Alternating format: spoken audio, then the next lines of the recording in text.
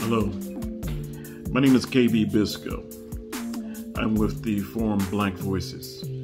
Uh, Black Voices is a mission to the edification of African indigenous men and women throughout the world. So, without delay, I want to say respectfully peace and health to the family. Paz y salud para mi familia en todo el mundo.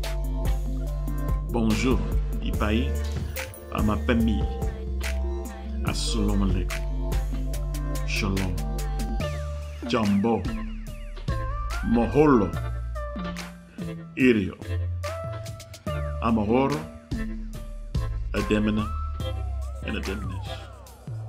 European contributions to the world towards civilization prior to 700 AD were negligible. Uh, during the Dark Ages, the illiteracy rate was 98.9%. Oftentimes, historians try to credit inventions, architecture, and science to mulatto communities like the Roman and, and Greek, Greek empires. Yet and still, these civilizations borrowed greatly from Africa. The rewriting of history soon began around the year 1492. This period in history was called the Reconquista. Therefore, it is no coincidence that the same year that the Moors were disbanded from Europe is the same year that the Reconquista period flourished. This is a time when European nations sought to reconquer lands that were visited, traded, inhabited by the Moors. In fact, the African indigenous civilization was a world civilization. As a matter of fact, one of many African world civilizations. History is now bearing the facts that Africans have traveled, inhabited, and civilized many parts of the world. This is why conquistadors like Christopher Columbus set forth to rediscover and reconquer lands that long were known by Africans in the year 1492. You see, so here are 10 facts that prove that Christopher Columbus was not the first to discover the old world known today as the Americas. Uh, number one Columbus and the New Guinea boatmen. Europe was under the control of the Moors for over 700 years. They were pivotal in Europe's architectural, science, technology, and exploration knowledge. Uh, Columbus, in his diaries, was very familiar with the Moors. In fact, he mentions that he had spent over 20 years sailing the coast of Africa. Therefore, it is plausible that he knew that there was land west of Africa. However, because his math was so dreadful, he assumed it to be an alternative route to Asia.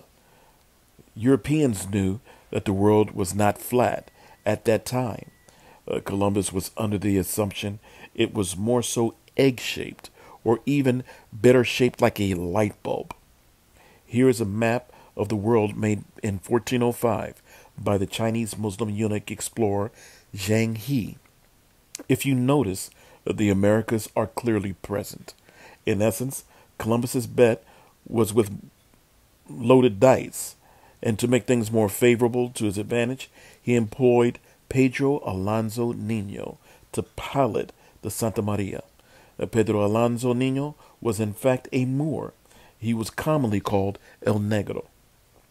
Opposed to speculation whether Columbus was influenced in his arriving uh, to America, let's simply stick to the facts. In Michael Bradley's book, The Columbus Conspiracy, a book with the introduction written by Dr. John Henrik Clarke, he writes that Columbus, in fact, did not discover the Americas. He merely opened it up with the Caribbeans to European domination and exploitation. The evidence he used was from Columbus's biographer. There he writes, uh, prior to Columbus's second voyage, he was dispatched by his mentor and friend, Prince Henry the Nav- Navigator, to investigate what was happening in Guinea, Africa. It had reached his attention that boatmen from Guinea were trading with the land in the west. Columbus was given the task to follow these boatmen to find out with whom they were trading. When following the African boatmen, eventually Columbus was led to discovering South America. Number two, The explorers. A better proof of ancient Negro arrivals is the fact of Negro colonies found by the Spanish and Portuguese discoverers on the eastern coasts of South and Central America. Pedro de Mendoza encountered a tribe of Negritos, and Vasco Nunez de Balboa encountered the tribe of Negritos in his discovery of the Pacific Ocean. They met with the old province of Coreca, at only two days' travel from the Gulf of Darien with the settlement of Negri- Negroes, who were, says P. Martyr, of the fiercest and most ferocious nature. Other smaller or similar communities were found in Panuco, Yucatan, in Nicaragua, and other provinces. The only possible question yet remains, namely, what route did the Negro people follow on their way to America? Montauban is of the opinion that they came over the longest stretch of water on earth, over the Indian and Pacific Ocean. But the learned generally set forth the greater probability of their having crossed the Atlantic, where the equatorial current and fair trade winds are exceptionally favorable to westward voyages. Twice during the last century, in the years 1731 and 1764 have small ships passing from one point of the Canary Islands to another been driven by storms into the region of the trade winds and the equatorial current and have drifted as far as America. What has happened in, in our time most often must have happened before. We should not wonder, therefore, at the early presence of African Negroes on our continent. The discovery of Negro settlements in the east coast of Brazil hardly permits any further doubt to remain on this question. If from the existence of black people in America at the time of its latest discovery, we are allowed to conclude the fact of ancient Melanesian and African immigrants, the presence of various white aboriginal tribes, which we have noticed before, can leave no doubt that the fair nations of the eastern continent have contributed in olden times towards the population of the New World. Here is a long list of Westerners who have indicated that Africans preceded Columbus in the Americas in different capacities as 1. Visitors, 2. Settlers, 3. Traders, 4. Explorers, and 5. Shipwrecked sailors. 3. Fossils and artifacts. For centuries, scientists have stated that pre Clovis man was the first man to arrive in the Americas. It was believed that the pre Clovis man crossed the Bering Straits when the ice caps melted, and it crossed a land bridge entering into Alaska and the Americas. Ultimately, pre Clovis man evolved into the Mongolian Native Americans that we have in America today. However, over the past 10 years, scientists or science has been turned on its head. A much older indigenous population has been discovered.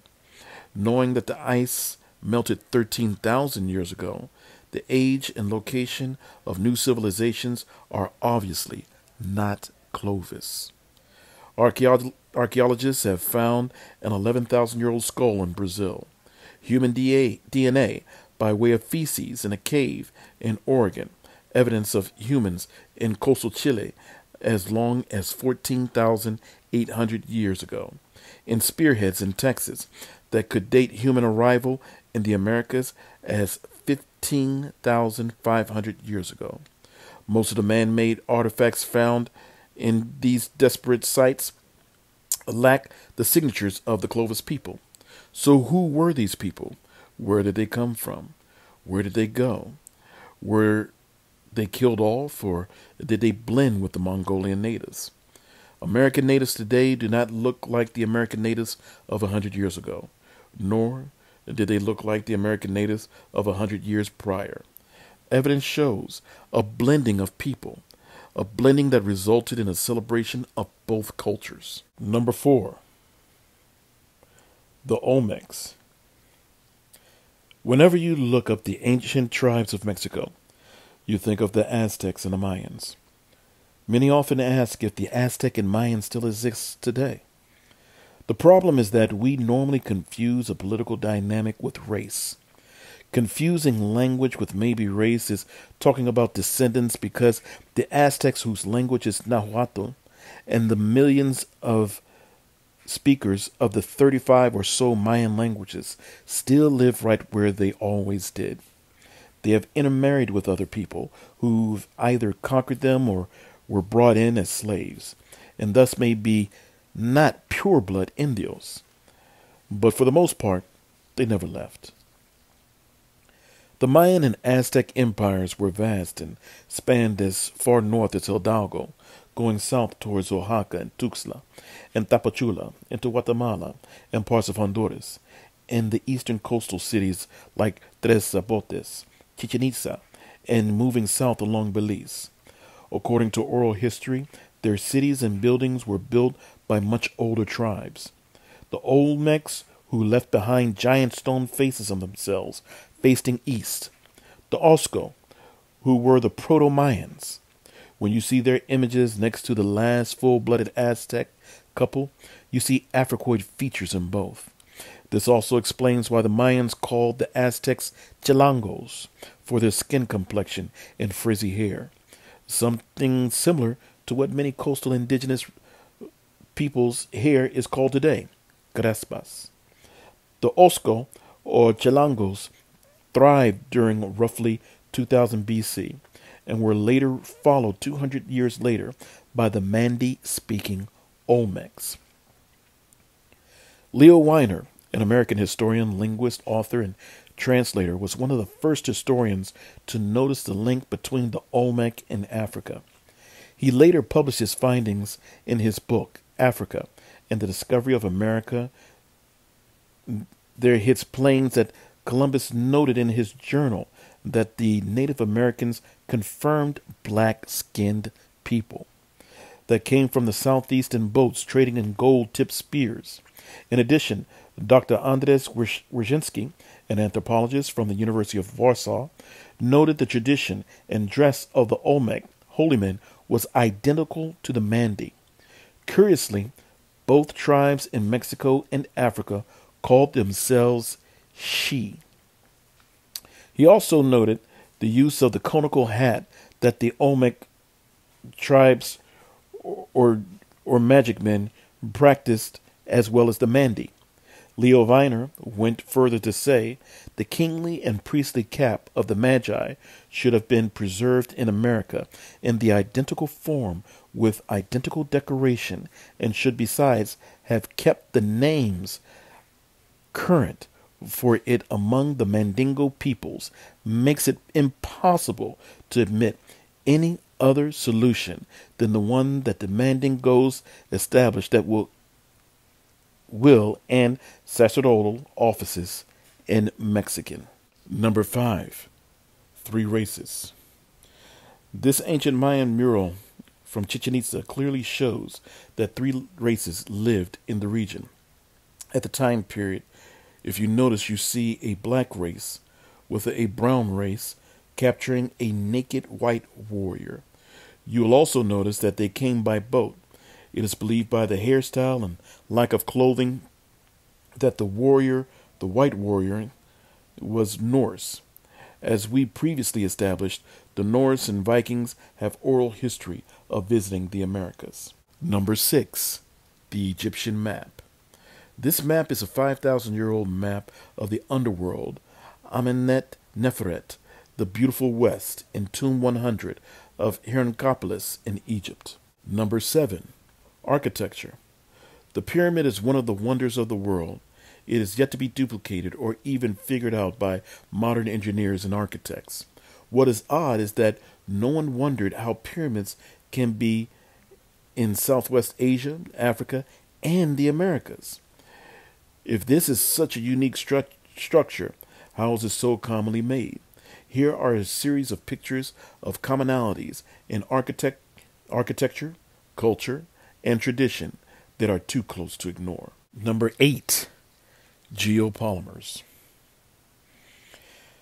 Archaeologists have theorized that the Great Pyramid was made exclusively from quarried limestone. Each stone weighed 2.5 tons.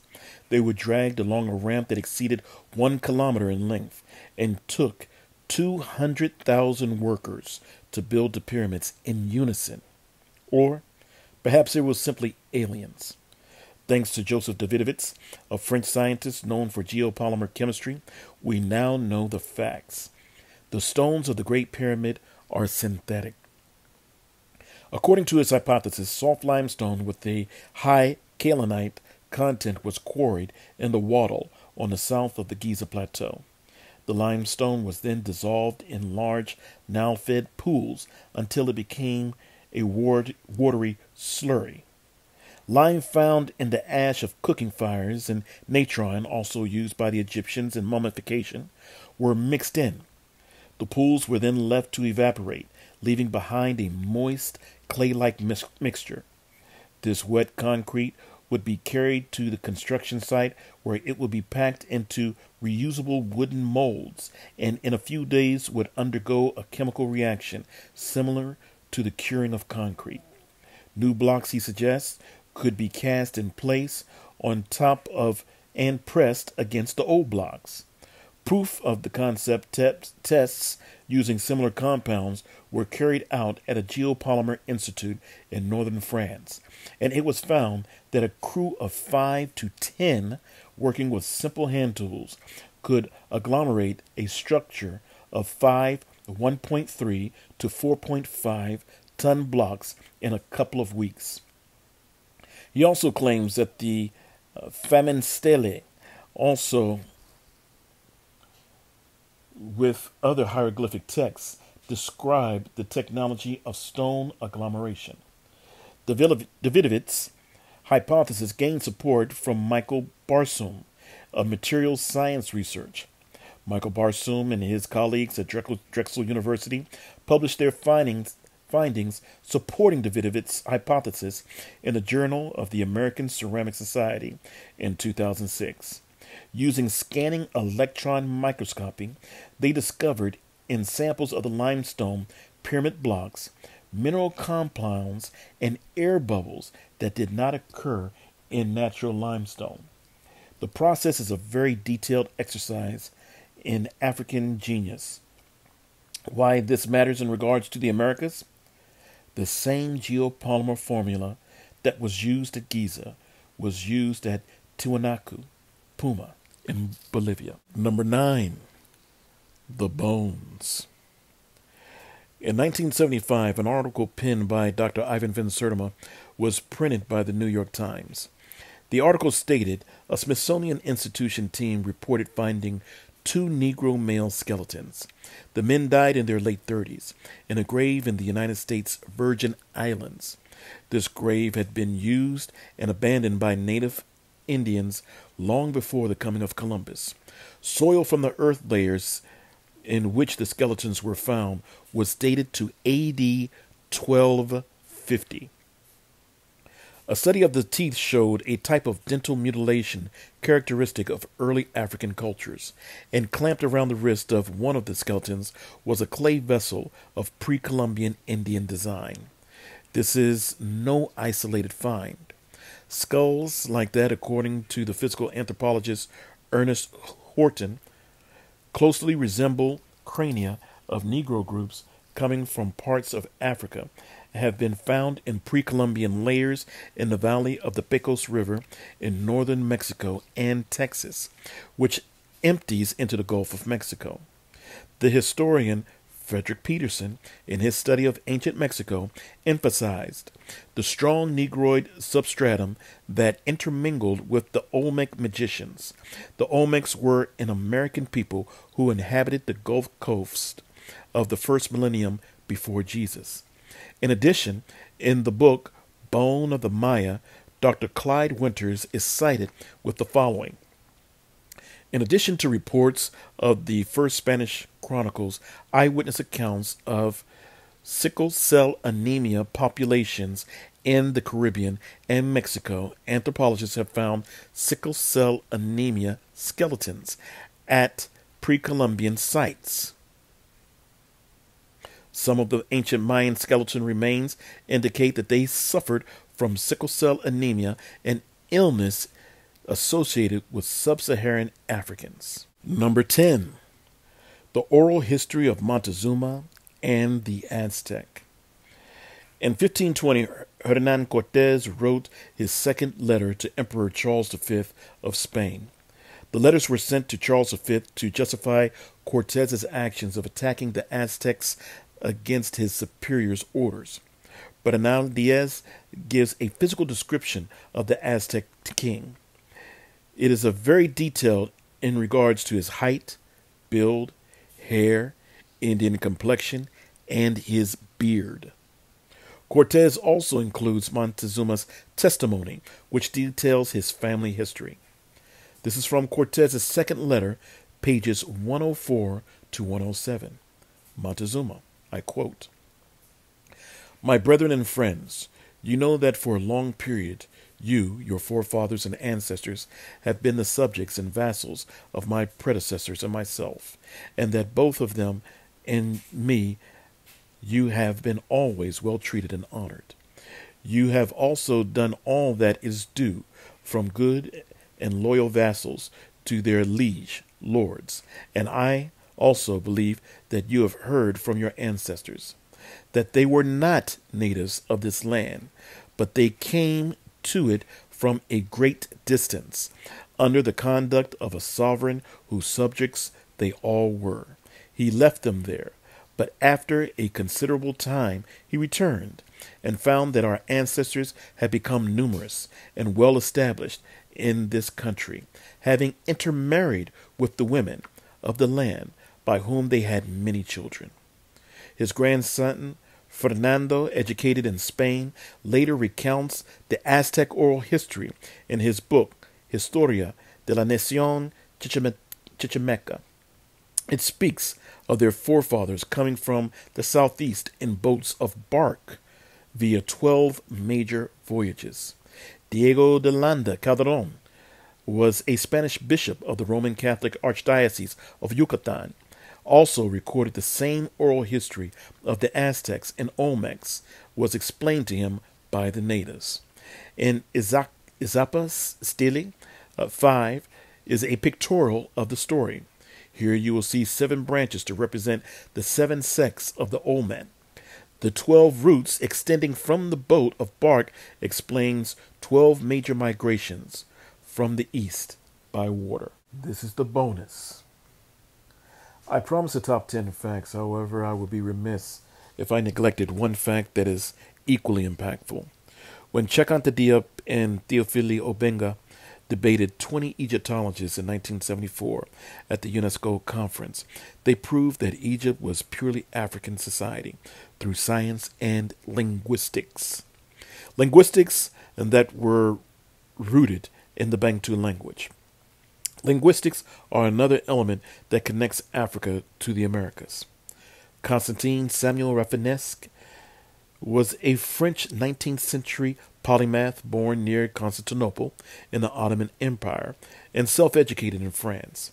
He traveled as a young man in the United States, ultimately settling in Ohio in 1815, where he made notable contributions to botany, zoology, the study of prehistoric earthworks in North America also. He also contributed to the study of ancient Mesoamerican linguistics. He was one of the first to recognize a correlation between Olmec script and Mande.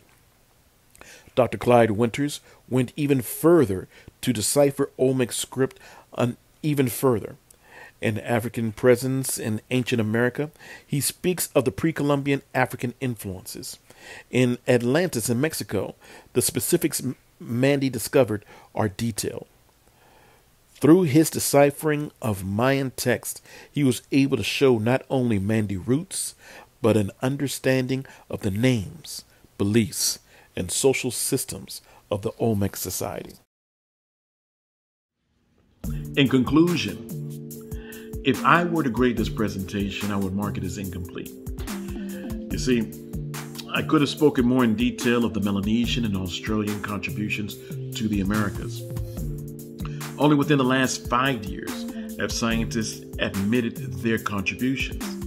This is primarily due to the fact that most South American indigenous natives have Melanesian and Australian DNA. Proof of African world civilization smacks directly against racial propaganda presented as history for over 600 years. Unfortunately, the most vehement proponents of the greatest lie will look like the very descendants of the African ancestors whose legacy was stolen.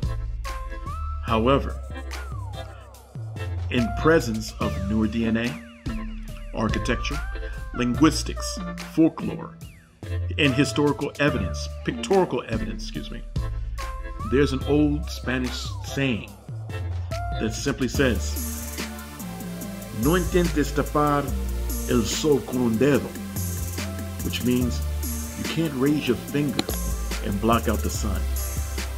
So, in conclusion, I ask that you like, share, and join, subscribe to these lessons.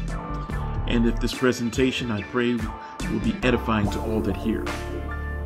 Respectfully, I wish peace and respect to you and your ancestors.